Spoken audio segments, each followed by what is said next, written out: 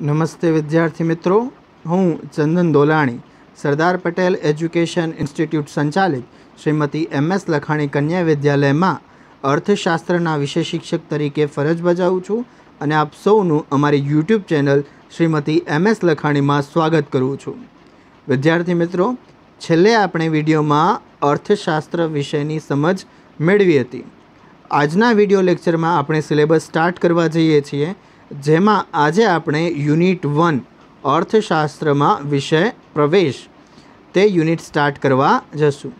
આગળ આપણે ડિટેલમાં સમજશું કે આખા પાઠમાં કયા કયા ટોપિક આવવાના છે. તેમાંથી આપણે કયા કયા ટોપિક આજના વીડિયો લેક્ચરમાં કવર કરવાના છીએ. તે આજનો આપણો આખો ટોપિક રહેશે. તો સ્ટાર્ટ કરીએ છીએ આજનો આપણો આ લેક્ચર. જેમાં તમે જોઈ શકો છો યુનિટ વન અર્થશાસ્ત્ર વિશે પ્રવેશ. Video lecture number one, unit વનની અંદર, બરાબર? હવે યુનિટ નંબર વનમાં સૌથી પહેલાં ઇન્ડેક્સ કે કયા કયા ટોપિક આ યુનિટમાં આવવાના છે. યુનિટનું નામ, અર્થશાસ્ત્ર વિશે પ્રવેશ, પ્રસ્તાવના, અર્થશાસ્ત્રનો અર્થ, અર્થશાસ્ત્રનું ભારતીય ચિંતન ચિંતન એટલે કે એક પ્રકારના ફિલોસોફી કે અર્થશાસ્ત્ર સાથે સંકળાયેલા કયા વિચારો છે, કઈ રજૂઆતો છે તે. પશ્ચિમમાં અર્થશાસ્ત્રનો ઉદ્ભવ અને વિકાસ, પશ્ચિમ એટલે કે આપણા ભારત દેશની પશ્ચિમની સાઈડ યુરોપિયન કન્ટ્રીઝ જેને કહેવામાં આવે છે. ત્યારબાદ આર્થિક પ્રવૃત્તિ અને બિનઆર્થિક પ્રવૃત્તિ કોને કહેવાય? એકમલક્ષી સમગ્રલક્ષી અર્થશાસ્ત્ર, આર્થિક માહિતીની રજૂઆત, આંકડાકીય માહિતીનું મહત્ત્વ આંકડાકીય માહિતી દોરતી વખતે ધ્યાનમાં રાખવાની બાબતો આંકડાકીય માહિતીની આકૃતિ આલેખમાં કઈ રીતે રજૂઆત કરવામાં આવે છે તે અને અર્થશાસ્ત્ર વિષયનું મહત્ત્વ હવે એની અંદર આપણે જે ત્રણ આજના ટોપિક છે, જે રેડ અક્ષરથી લખેલા છે, રેડ ફોન્ટમાં પ્રસ્તાવના, અર્થશાસ્ત્રનો અર્થ અને અર્થશાસ્ત્રનું ભારતીય ચિંતન. આજનો આખો વીડિયો રહેશે આ ત્રણ ટોપિક ઉપર બેઝ. સ્ટાર્ટ કરીએ છીએ આજનો આપણો આ ટોપિક. જેમાં સૌથી પહેલાં આવે છે પ્રસ્તાવના. હવે જ્યાં જ્યાં પણ અંડરલાઇન કરેલી છે કલર ફોન્ટ બદલેલા છે, તો તેનો મતલબ એમ છે કે તે ટોપિક તમારા માટે અગત્યનો છે. જે પણ જગ્યાએ આખા વીડિયો લેક્ચરમાં કે આવનારા ગમે એટલા વિડીયોમાં ફોન્ટ બદલેલા હોય અંડરલાઇન કરેલી હોય, તો તે એમસીક્યુ માટે અગત્યનો હશે વીએસક્યુ માટે અગત્યનો હશે ક્વેશ્ચન અથવા તો છેલ્લે તમને કોઈ જગ્યાએ મોટો ક્વેશ્ચન આન્સર લખવો પડે. પાંચ માર્કનો ક્વેશ્ચન આન્સર લખવો હોય, ત્રણ માર્કનો ક્વેશ્ચન આન્સર લખવો હોય, તો તેમાં પ્રસ્તાવનામાં તમારા વર્ડ ગેલેરી તમારા શબ્દ ભંડોળની વધારે કરવા માટે તે અગત્યના મુદ્દાઓ હશે, એટલા માટે તેની નીચે અંડરલાઇન કરેલી હશે. ક્લિયર સ્ટાર્ટ કરીએ છીએ આજનો આપણો પહેલો ટોપિક પ્રસ્તાવનાની અંદર પહેલો જ મુદ્દો લખેલો છે કે માનવી બુદ્ધિશાળી પ્રાણી છે. હવે અત્યાર સુધી તમે એમ સમજતા હશો કે માનવી સામાજિક પ્રાણી છે. આજે તમે એમ સમજ્યું કે માનવી બુદ્ધિશાળી પ્રાણી છે. તો સૌથી પહેલાં એ સમજાવી દો કે બુદ્ધિશાળી શા માટે? જ્યારે પણ કોઈ વ્યક્તિ પોતાની આજુબાજુની પરિસ્થિતિ સમજી શકે અને તેનું વિશ્લેષણ કરી શકે, તો એમ કહેવાય છે કે તેનામાં બુદ્ધિનું પ્રમાણ રહેલું છે. એ જ કન્સેપ્ટમાં આ મુદ્દો લખેલો છે. કે માણસ જ એકમાત્ર એવો પ્રાણી છે કે જે પોતાની આજુબાજુની પરિસ્થિતિ સમજે છે અને તેનું વિશ્લેષણ યોગ્ય રીતે કરે છે. તેટલા માટે તેને શું કહેવામાં આવ્યું છે? બુદ્ધિશાળી પ્રાણી. આ પહેલો મુદ્દાની અંદર લખેલું છે કે આગળ જો એમાં, તેથી તે પોતાની આસપાસની પરિસ્થિતિનું વિશ્લેષણ કરી શકે છે અને વર્ગીકરણ કરી શકે. છે ટૂંકમાં જે વ્યક્તિ માટે કામનું હશે તે તેમાં વધારે ધ્યાન આપશે. જે કામનું નહીં હોય તેને તે નહીં ગમે, એટલે વર્ગીકરણ કરી શકે છે. આમાં આપણે શું યાદ રાખવાનું છે? કે માનવી બુદ્ધિશાળી પ્રાણી છે. અને શા માટે બુદ્ધિશાળી પ્રાણી છે? તો પોતાની આજુબાજુની પરિસ્થિતિ સમજી શકે છે, તેનું વિશ્લેષણ કરી શકે છે અને વર્ગીકરણ કરી શકે છે, એટલા માટે તેને બુદ્ધિશાળી પ્રાણી કહેવામાં આવ્યું છે. ક્લિયર? હવે જો બુદ્ધિશાળી હોય ને, તો એ ઘણા બધા પુસ્તકોની રચના કરે, ઘણા બધા શાસ્ત્રોની રચના કરે, જે આપણો બીજો ટોપિક છે, બીજો મુદ્દો. માનવ જીવન સુખરૂપ ચાલે તે માટે તેણે વ્યવસ્થા ઊભી કરી છે, જેમ કે સમાજ વ્યવસ્થા, રાજ્ય વ્યવસ્થા અને અર્થવ્યવસ્થા. માણસ જો બુદ્ધિશાળી છે ને એટલા માટે તેણે સમાજમાં ઘણા બધા ધીરે ધીરે કરીને એવો એક આખું ડેવલપમેન્ટ કરી નાખ્યું છે કે જેના લીધે એક આખી ઓળખ સમાજની બની શકે, રાજ્યની બની શકે. રાજ્ય એટલે કે એમ સમજો કે કોઈ પણ દેશ. બરાબર? રાજ્યની વ્યાખ્યા ઘણી બધી વિસ્તૃત છે. રાજ્ય કોઈ એક શબ્દની અંદર આપણે ડિસ્ક્રાઇબ ન કરી શકીએ. પણ ટૂંકમાં કહેવા જઈએ તો દેશ એવી રીતે તમે સમજી શકો છો. અને છેલ્લું છે અર્થવ્યવસ્થા. અહીંયા સમાજનું બધું કર્યું, એટલા માટે સમાજ વ્યવસ્થા કહેવામાં આવી. અહીંયા દેશ કઈ રીતે ચલાવવાનું તે વ્યવસ્થા કરી, એટલા માટે રાજ્ય વ્યવસ્થા કરવામાં આવ્યું. તેની અંદર નાણાકીય વહીવટ કઈ રીતે કરવા તે જોવામાં આવ્યું. તો તેના માટે અર્થવ્યવસ્થાની રચના કરવામાં આવી. ટૂંકમાં સમાજને કઈ રીતે ચલાવવું છે? તો સમાજ વ્યવસ્થા. દેશને કઈ રીતે ચલાવવું છે કે રાજ્યને કઈ રીતે ચલાવવું છે? તો રાજ્ય વ્યવસ્થા અને નાણાકીય વહીવટ કઈ રીતે ચલાવવો છે તે સમજવા માટે અર્થવ્યવસ્થાની રચના કરવામાં આવી છે. અને આ ત્રણેય રચનાનો ઉદ્દેશ્ય શું છે? કે માનવ જીવન, સુખરૂપી જીવન જીવી શકે તે માટે આની રચના કરવામાં આવેલી છે. આ બે મુદ્દાઓમાંથી જો ઇઝીલી તમે સમજ્યા હશો કે આ રેડ લાઇનનો મતલબ શું છે. પહેલો મુદ્દો શું હતો? કે માનવી બુદ્ધિશાળી પ્રાણી છે. તો હવે તમને ડાયરેક્ટ સ્ટ્રાઇક થશે કે શા માટે બુદ્ધિશાળી? તો પોતાની આસપાસની પરિસ્થિતિઓ સમજી શકે છે, વિશ્લેષણ કરી શકે છે, વર્ગીકરણ કરી શકે છે તે માટે. બીજું, બીજો મુદ્દામાં શું જોઈએ આપણે? કે તેણે પોતાનું જીવન સુખરૂપ જીવવા માટે કેવી વ્યવસ્થા ઊભી કરી? તો સમાજ માટે એણે ઊભી કરી સમાજ વ્યવસ્થા, દેશ કે રાજ્ય માટે ઊભી કરી રાજ્ય વ્યવસ્થા અને નાણાકીય વ્યવસ્થા માટે રચના કરી દીધી અર્થવ્યવસ્થાની. ક્લિયર? આ બે મુદ્દા. આગળ જોઈએ ત્રીજો મુદ્દો. આ વ્યવસ્થાઓને સમજવા માટે. હવે આ ત્રણ ઉપરની વ્યવસ્થા, બરાબર? આ વ્યવસ્થાઓને સમજવા માટે તેને પેઢી દર પેઢી ચલાવવા માટે તથા વ્યવસ્થામાં ઊભા થતા પ્રશ્નો અને સમસ્યાઓના ઉકેલ માટે માણસે વિવિધ શાસ્ત્રોની રચના કરી છે. વિવિધ શાસ્ત્ર એટલે કે સમાજશાસ્ત્ર, અર્થશાસ્ત્ર, નીતિશાસ્ત્ર, બરાબર આ બધા શાસ્ત્રો છે. તેની રચના શા માટે કરી છે કે કોઈ પણ સમસ્યા જો ભવિષ્યમાં સર્જાય, તો તેનું નિરાકરણ કરવા માટે આ બધા શાસ્ત્રોની રચના કરવામાં આવી છે. આગળ લખેલું છે એના પછીનો. હવે આ ટોપિક ધ્યાનથી સમજજો કે આ છેલ્લો મુદ્દો આમાં શું કહેવા માગે છે સ્લાઇડમાં. આદિયુગમાં માણસો કેટલાક પ્રશ્નો અને સમસ્યાઓનો ઉકેલ લડાઈ કે યુદ્ધ દ્વારા લાવતો. પણ સમજણના વિકાસની સાથે, આ ખાસ ધ્યાન રાખજો. સમજણના વિકાસના સાથે તે સમસ્યાઓનો ઉકેલ શાસ્ત્રો દ્વારા બુદ્ધિપૂર્વકની ગણતરીઓ દ્વારા લાવતો થયો. હવે એક સાદા અર્થમાં હવે આપણે સમજીએ કે હાલના સમયમાં આપણે ભારત અને ચીન વચ્ચે ઘણી બધી સમસ્યાઓ ચાલી રહી છે. ઘણા બધા લોકો એમ કે કે ચીન સાથે લડવું જોઈએ, પાકિસ્તાન સાથે લડવું જોઈએ, લડાઈ જે લડી લેવી જોઈએ. તો અહીંયા જો એણે કીધું કે આદિયુગ એટલે કે પહેલાંનો સમય જ્યારે લોકોમાં સમજ નહોતી, જ્યારે લોકોમાં આટલું બધું થિંકિંગ એબિલિટી નહોતી ત્યારે લોકો શું કરતા કે લડાઈ કે યુદ્ધ દ્વારા નિર્ણય લઈ લે કે કાં સામેવાળાને મારીએ, કાં તો આપણે મરીએ, તેના દ્વારા નિર્ણય થઈ જશે. આવો પહેલાં કન્સેપ્ટ હતો આદિયુગમાં હવે એનાથી નહીં ચાલે. હવે એ કન્સેપ્ટથી કામ નહીં થશે. આજનો સમય છે એ પરમાણુનો યુગ છે. અણુ અને પરમાણુની લડાઈ, તે બહુ ભયાનક હોઈ શકે. કોઈ પણ દેશને જ્યારે તમારે અથવા તો કોઈ પણ વ્યક્તિને જ્યારે તમારે પોતાની આવડત પોતાની સમજથી હરાવવો હોય, તો એની માટે તમારી બુદ્ધિપૂર્વક વિચારધારા અને શાસ્ત્રો દ્વારા તેની સમજ તમારામાં હોવી જોઈએ. અને તે જ કામ કરે છે અર્થશાસ્ત્ર. અર્થશાસ્ત્રમાં શું કહેવામાં આવે છે? કે કોઈ પણ વ્યક્તિને જ્યારે તમે આર્થિક રીતે તોડી દો છો, અમારા શબ્દો ધ્યાનથી સમજજો. કોઈ પણ વ્યક્તિને જ્યારે તમે આર્થિક રીતે તોડી દો છો તો એ વ્યક્તિ તમારી સામે નિર્બળ બની જાય છે. એનો મતલબ શું? સિમ્પલ વર્ડ્સમાં તમને સમજાવ. તમે જ્યારે કેન્ટીનમાં કોઈ પણ વસ્તુ ખરીદવા જતા હશો સ્કૂલમાં, જો તમારી પાસે દસ રૂપિયા હશે ખીચામાં તો તમે ખરીદ શક્તિ તમે કેટલા વાપરી શકશો? દસ રૂપિયામાં. હવે કોઈ દિવસ તમે એમ વિચારો કે તમે સો રૂપિયા લઈને આવ્યા તો તમે થોડાક એની કરતાં વધારે જોશમાં હશો કે આજે સો રૂપિયા વાપરવા મળશે? અથવા તો આજે જે આપણે ખરીદવું હશે તે આપણે ખરીદી લેશું? તો તમે પોતાની જાતને કેવા સમજશો મજબૂત સમજશો ટૂંકમાં.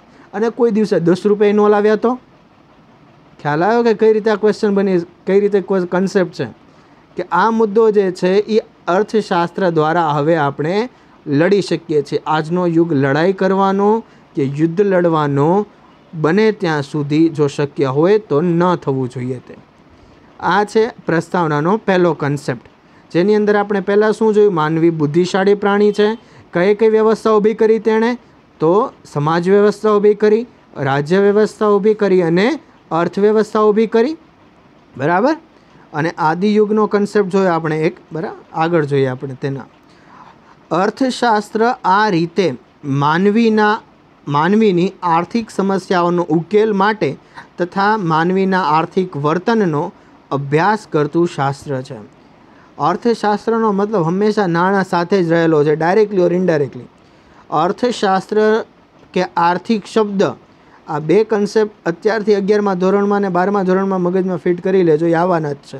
અર્થશાસ્ત્રમાં આર્થિક શબ્દ આવે તો એનો મતલબ એમ જ છે કે તે ડાયરેક્ટલી એટલે કે પ્રત્યક્ષ રીતે કે ઇનડાયરેક્ટલી પરોક્ષ રીતે સંબંધિત હશે પૈસા સાથે.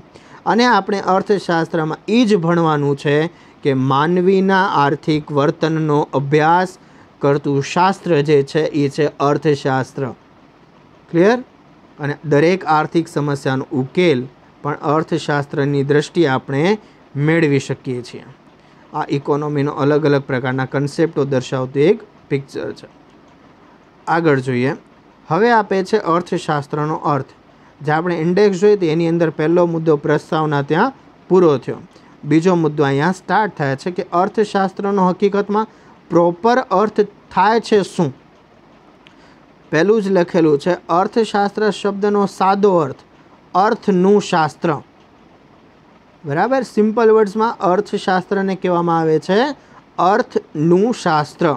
અર્થ એટલે કે, કોઈ વસ્તુ મેળવવા માટે કરવામાં આવતી પ્રવૃત્તિ. એને કહેવામાં આવે છે કોઈ પણ અર્થ. જ્યારે તમે કોઈ કામ કરો છો, દાખલા તરીકે અત્યારે તમે આ વીડિયો જોઈ રહ્યા છો, તો તમારો અર્થ શું રહેલો છે એની પાછળ? જ્ઞાન મેળવવાનો. સમજાય છે કન્સેપ્ટ કે અર્થનું શાસ્ત્ર, એને કહેવામાં આવે છે અર્થશાસ્ત્ર. આગળ જોઈએ બીજા મુદ્દામાં. સંસ્કૃત શબ્દ, અર્થ પરથી આ શબ્દ ઉતરી આવ્યો છે. આ એમસીક્યુ વીએસક્યુ આપ ઘણા બધા આમાંથી નીકળી શકે છો. એટલે આ દરેક લાઈન કામની છે. કયા શબ્દ પરથી આ ઉતરી આવ્યો છે? તો સંસ્કૃત શબ્દ પરથી અર્થ શબ્દ ઉતરી આવ્યો છે. સંસ્કૃતમાં અર્થ શબ્દના અનેક અર્થ છે. જેમાંનો એક છે ઉદ્દેશ્ય. એક મતલબ તેનો શું નીકળે છે? અર્થનો ઉદ્દેશ્ય. એનો મતલબ થાય છે કે કશુંક મેળવવું. ક્લિયર તમે ટૂંકમાં અત્યારે કઈ રીતે યાદ રાખશો? કે અર્થશાસ્ત્ર એટલે કે અર્થનું શાસ્ત્ર. અર્થ શબ્દ ક્યાંથી ઉતરી આવ્યો છે? તો સંસ્કૃત ભાષામાંથી. અર્થનો મતલબ શું થાય છે? તો ઉદ્દેશ્ય અથવા તો કશુંક મેળવવું. ક્લિયર જે આધુનિક આર્થિક અર્થ સાથે વધારે સુસંગત બને છે. અહીંયા તમારે ફેક્ચ્યુઅલ ડેટા બધા આપેલા છે. સમજ કરતાં વધારે તમારે અહીંયા યાદ રાખવાનું છે. એના પછી લખેલું છે અંગ્રેજી શબ્દ ઇકોનોમિક્સ ગુજરાતીમાં આપણે તેને અર્થશાસ્ત્ર કહીએ. અંગ્રેજીમાં આને આ જ વિષયને ઇકોનોમિક્સ તરીકે ઓળખવામાં આવે છે. તો હવે આ ઇકોનોમિક્સ શબ્દ ક્યાંથી આવ્યો? ઇકોનોમિક્સ જે છે તે ગ્રીક શબ્દ છે અને ઇકોનોમિકોસ ઇકોનોમિકોસ એટલે કે આ શબ્દ જે છે તે આવ્યો છે આ શબ્દ પરથી ઉતરીને. અને હકીકતમાં અહીંયા કદાચ મારે પ્રિન્ટિંગ મિસ્ટેક છે. ઇકોનોમસ એવો અહીંયા અર્થ થાય છે, બરાબર? આ ઇકોનોમિકોસ જે લખેલું છે, એની જગ્યા અહીંયા હશે ઇકોનોમસ. ક્લિયર એ તમે જોઈ લેજો. અહીંયા ઇકોનોમસ હશે. ઇકોનોમિક્સ પર, ઇકોનોમસ પરથી ઉતરી આવ્યો છે. પ્રાચીન ગ્રીસમાં ઘર વખરી સરસામાન કે જે વ્યક્તિગત માલિકીના હોય છે, તેને ઇકોસ કહેતા હતા. જો આ ઇકોનોમસ અહીંયા લખેલું છે, ઇકોસ અને નોમોસ. એ બેનો શબ્દનો મતલબ થાય છે ઇકોનોમસ. હવે આને પહેલાં તો આપણે કઈ રીતે યાદ રાખશું કે અંગ્રેજી શબ્દ ઇકોનોમિક્સ એ કયા શબ્દ પરથી ઉતરી આવ્યો છે? તો ગ્રીક શબ્દ પરથી ઉતરી આવ્યો છે. ગ્રીક ગ્રીક શબ્દ કયો છે? તો ઇકોનોમસ બરાબર? ગ્રીક શબ્દ કયો છે જેના પરથી આ ઉતરી આવ્યો છે? તો ઇકોનોમસ પરથી ઉતરી આવ્યો છે.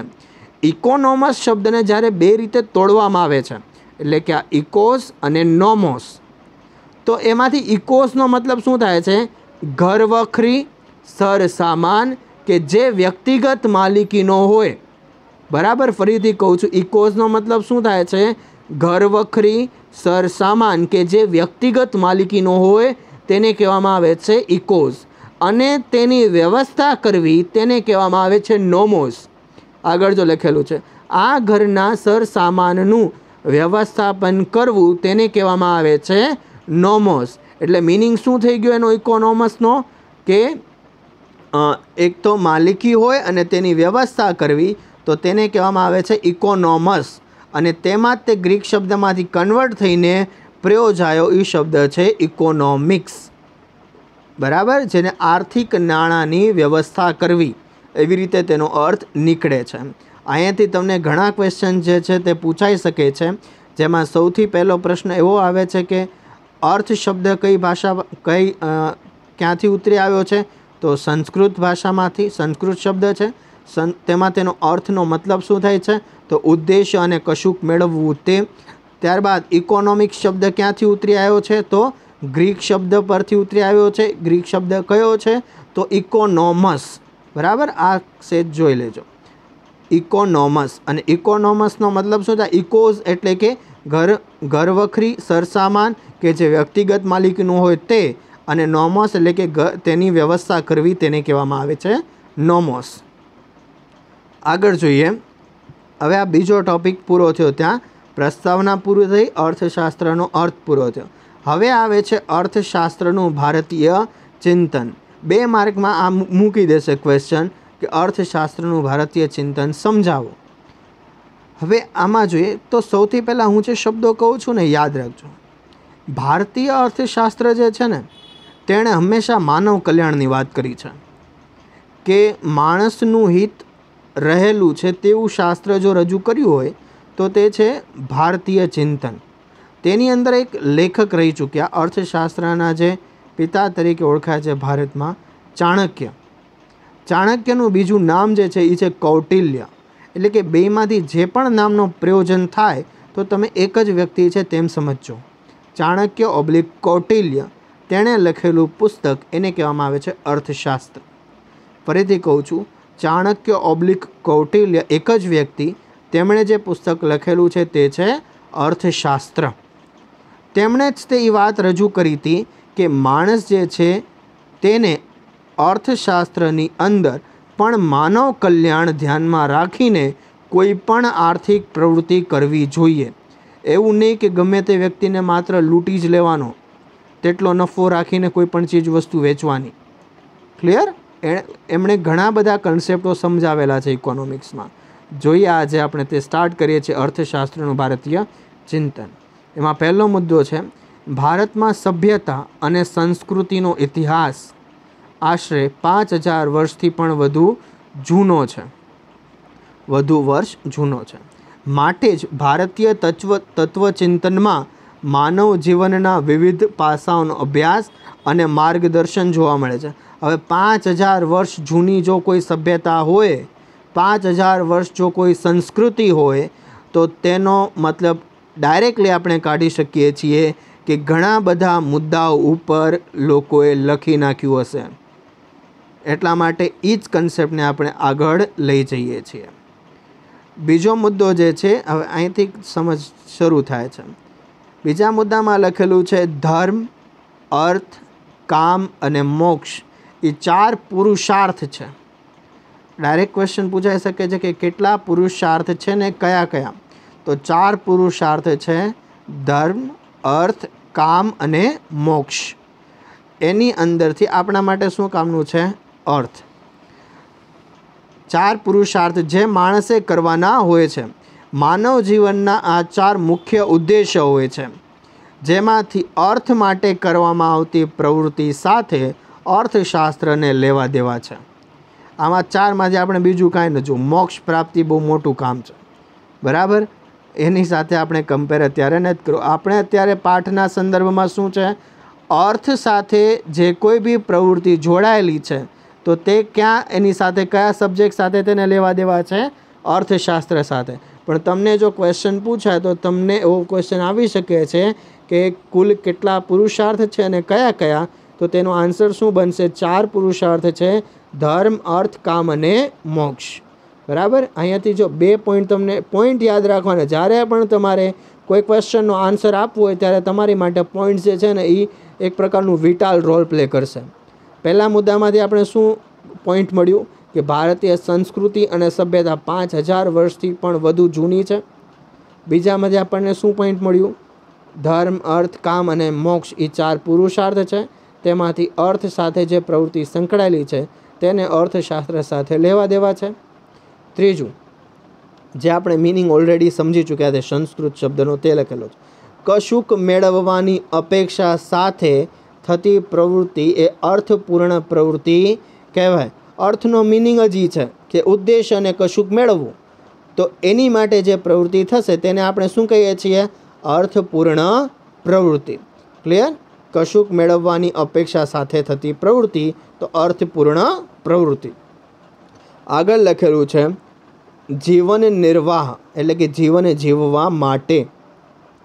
જીવન નિર્વાહ અને ભૌતિક સુખની પ્રાપ્તિ. ભૌતિક સુખની પ્રાપ્તિ એટલે કે આપણે ઘણા બધા સપના આવે. બાઇક લઈએ મોબાઈલ લઈએ. બરાબર? એક લક્ઝરિયસ લાઈફસ્ટાઈલ ટૂંકમાં. એ બધી જે મોંઘી મોંઘી ચીજ વસ્તુઓ છે, જે સુખાકારીનો એક ભાગ છે, તેને કહેવામાં આવે છે ભૌતિક સુખની પ્રાપ્તિ માટેની ચીજ વસ્તુઓ બરાબર? જીવન નિર્વાહ એટલે કે જીવન જીવવા માટે અને ભૌતિક સુખની પ્રાપ્તિ માટે, એટલે કે એવી બધી ચીજ વસ્તુઓ ખરીદવા માટે અર્થોપાર્જન, એટલે કે આવક મેળવવી તે માણસનું કર્તવ્ય છે. એ કોણ કહે છે?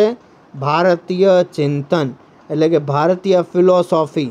અર્થશાસ્ત્ર કહે છે. અર્થશાસ્ત્ર પરની રચનાઓ કહે છે કે જો માણસે પોતાનું જીવન સારી રીતે ગુજારવું હોય કે જીવન નિર્વાહ કરવું હોય, તેની માટે અને ભૌતિક સુખની પ્રાપ્તિ એટલે કે લક્ઝરિયસ ચીજ વસ્તુઓ ખરીદવા માટે કે સામાન્ય ચીજ વસ્તુઓ ખરીદવા માટે પણ માણસે આવક મેળવવી જોઈએ, અર્થોપાર્જન કરવું જોઈએ અને તે જ તે માણસનું શું છે?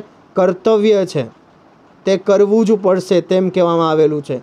ક્લિયર આ ચાર મુદ્દાઓ રહેલા છે આ સ્લાઇડમાં.